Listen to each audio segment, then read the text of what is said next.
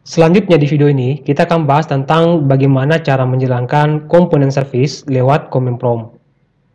Nah, untuk menjalankan komponen service ini lewat command prompt, di sini ya, pada command prompt ketik perintah dco, kemudian m, lalu c, kemudian n, f, lalu g ya. dco, m, c, n, f, g.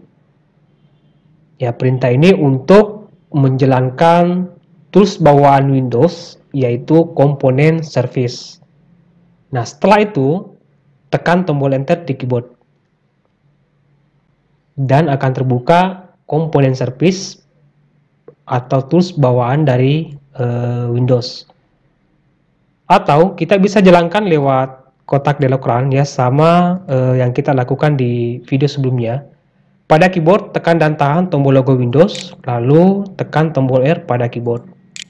Nah, pada kotak run ini, di sini teman-teman bisa ketik perintah yang sama, ya, yang sama kita lakukan pada command prompt, yaitu DC, lalu O, kemudian M, kemudian C, N, F, G. Setelah itu klik tombol OK. Dan akan terbuka uh, tools bawaan dari Windows yaitu komponen service yang sama halnya ketika kita melakukan perintah ini lewat command prompt.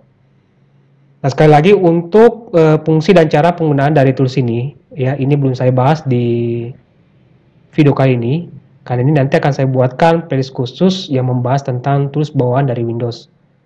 Baik, begitu mungkin tentang bagaimana cara menjalankan komponen service lewat command prompt. Semoga bermanfaat dan sampai jumpa di video berikutnya.